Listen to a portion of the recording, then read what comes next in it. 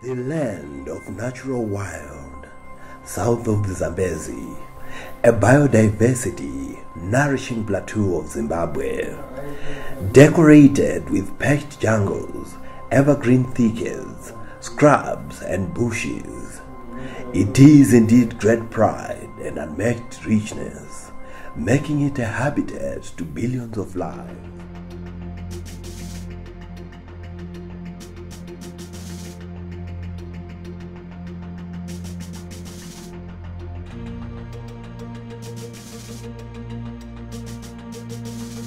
It is home to the giraffe of the genus Giraffa, the tallest living terrestrial animal.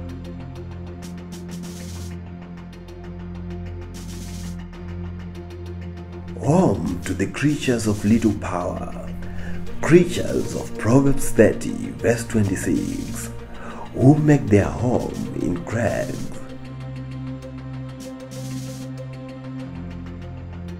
The Cercopithecus mitis, Dongonda, nature's most elusive creature, deep in the thickets of Honde Valley. The Chlorocebus pygerythrus,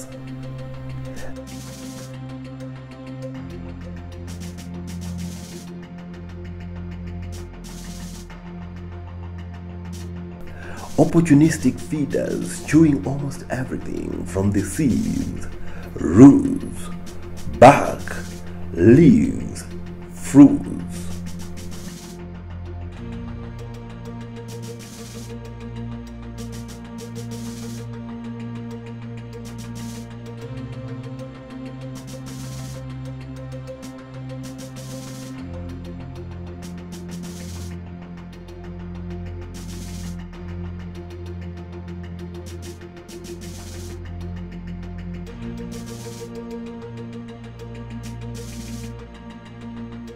The Aepyceros melampus, the impala, the most hunted antelope. A diurnal and zigzag runner. The Phacochoerus africanus, a wild member of the pig family, voracious foragers, uncovering anything edible, very tough and sturdy.